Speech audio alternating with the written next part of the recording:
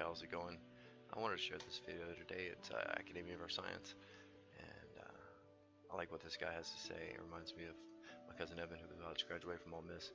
He's real smart, but he often repeats a lot of the sentiment here. So I hope you enjoy the video. Don't forget to like, share, and subscribe. Peace and love.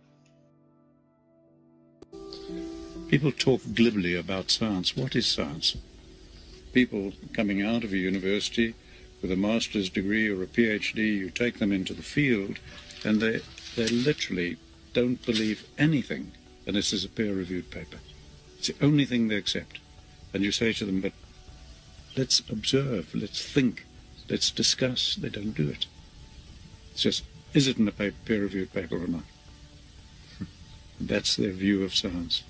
I think it's pathetic. Gone into universities as bright young people they come out of them brain dead, not even knowing what science means. They think it means peer-reviewed papers, etc. No, that's academia. And if a paper is peer-reviewed, it means everybody thought the same, therefore they approved it. An unintended consequence is that when new knowledge emerges, new scientific insights, they can never ever be peer-reviewed. So we're blocking all new advances in science that are big advances. If you look at the breakthroughs in science, almost always they don't come from the center of that profession. They come from the fringe. The finest candle makers in the world couldn't even think of electric lights.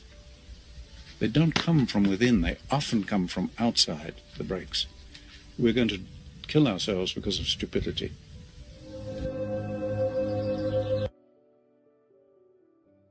Like what you saw, like it shows, like and share.